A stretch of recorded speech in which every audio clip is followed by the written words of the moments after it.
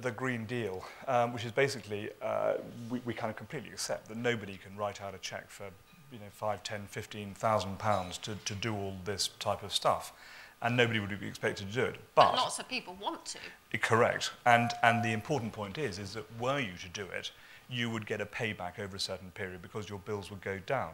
So what we're going to try and do is to finance this amount of money, the capital up front, through the Green Investment Bank, through the Green Deal, and then you repay that out of your savings going forward. So essentially what you're doing is, you know, if you were to do it yourself, you would have to fund it and you then get paid back over 15 years.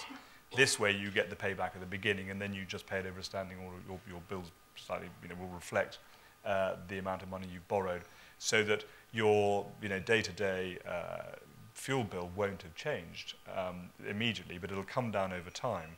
And you'll find that eventually you'll come to a situation where you've, uh, you know, you've, you've, you've um, paid off the loan.